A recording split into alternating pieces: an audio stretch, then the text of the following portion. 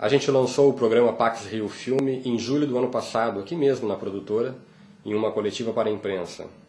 Alguns meses depois, iniciamos as filmagens do nosso primeiro filme, O Vingança. 110, 6 segunda.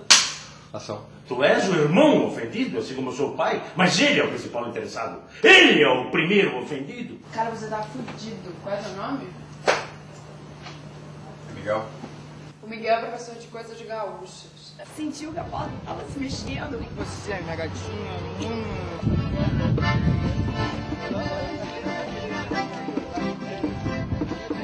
O nosso programa foi criado em parceria entre a Pax e a distribuidora Rio Filme e previa numa primeira fase a realização e o lançamento de quatro longas-metragens.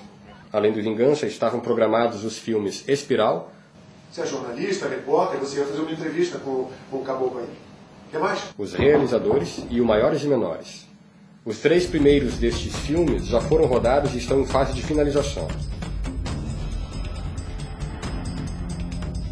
Mas nós decidimos realizar o Maiores e Menores só no final deste ano.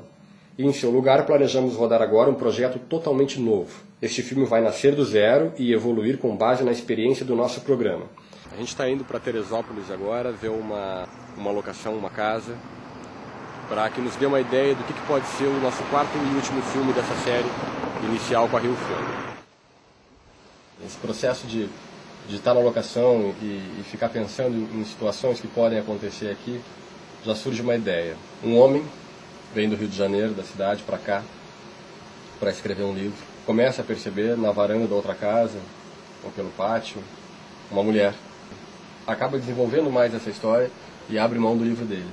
E ele acaba descobrindo depois, por um caseiro, que essa mulher, na verdade, já morreu. Provavelmente esse final da história que ela está para contar é justamente sobre a morte dela.